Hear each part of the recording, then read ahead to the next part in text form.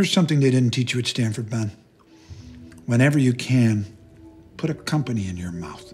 Let's talk about finance lessons from the third episode of Billions based on my work experience at Goldman Sachs in New York City and based on my work experience at the top hedge funds in the world. Now, please be sure to comment and like and stick around because at the end of this video, I'm going to grade the episode for Wall Street realism. What do you think? Not as good as I remember. And that's a problem, because I own a hell of a lot of these things and I'm about to own more. Now, what Bobby Axelrod said there might be the best investment tip ever. What he means by putting a cookie in your mouth is the best investors often use or try the products before investing in the company. And I'm sure that your best investments have been the ones where you've tried or used the product. And that is exactly what Bobby does in this episode, which I'll explain in much more detail in a second. Now, in this episode, we learn about how an activist hedge fund investor thinks as Axelrod buys a large position in a cookie company called Yumtime. And he does this so he can bully the management team and make a fortune. And the CEO of Yumtime is about to freak out as he finds out about Axelrod's investment in his company.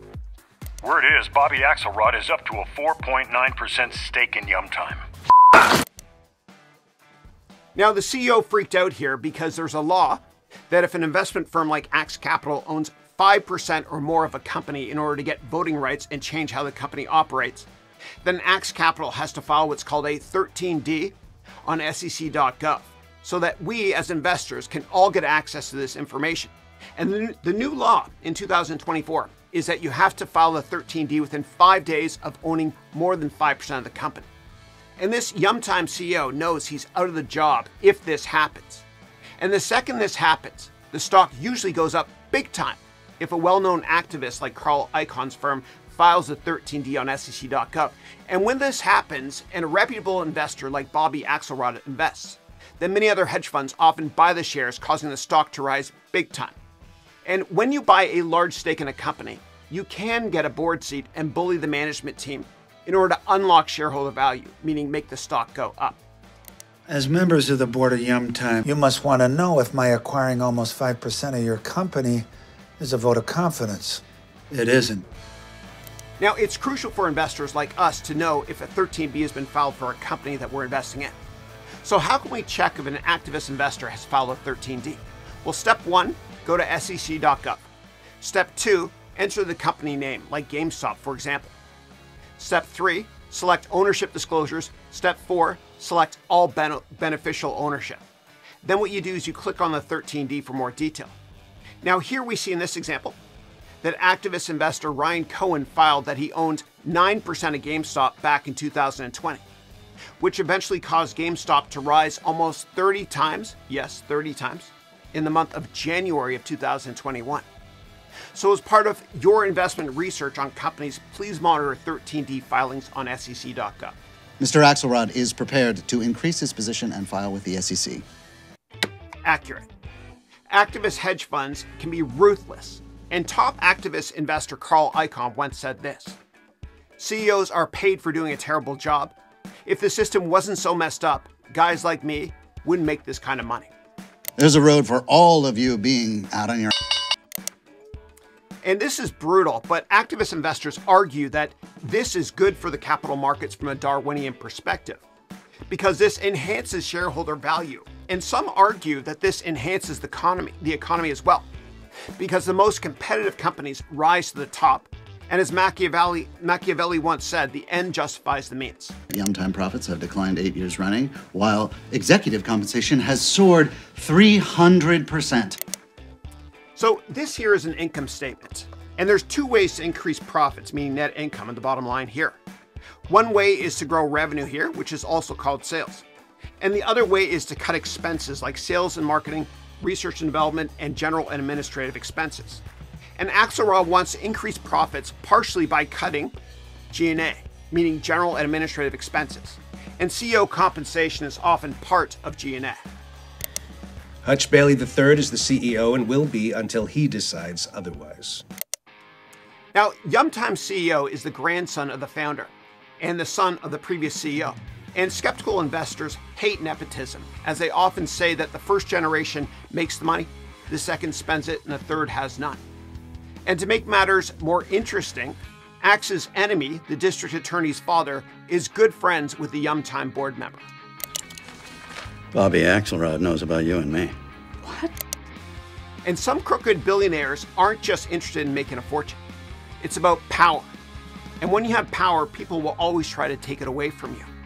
And the genius of this show is that it is so well researched, as many hedge fund billionaires' favorite movie is Highlander, which is a fictional movie character that has unlimited power. It's like Highlander. There can be only one. Accurate. Power is the ultimate currency. Now, once you make your fortune, then what's next?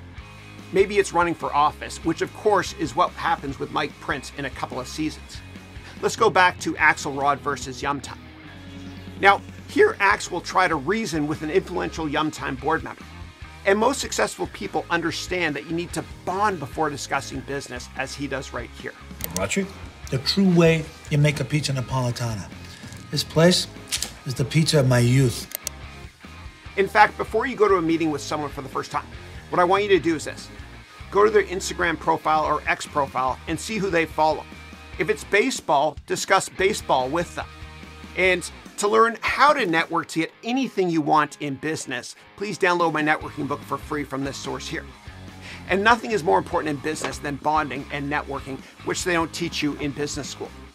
Now, in this episode, bonding is a key theme, uh, as we can see in this next video clip here, when Axe is bonding with one of his employees and he discusses baseball. You're gonna be our Brian Doyle. Who? Brian Doyle's a utility player on the 78 Yankees. Now, this bonding strategy worked, as we can see with the next Yum Time board meeting in a second. But watch this clip here, where uh, Axelrod bonds uh, over dinner uh, with the one of the board members of Yum Time.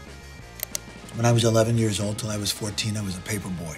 And when I finished my route, I'd pick up a Yum Time Scrumpet. And this bonding strategy worked, as we can see with the next Yum Time board meeting.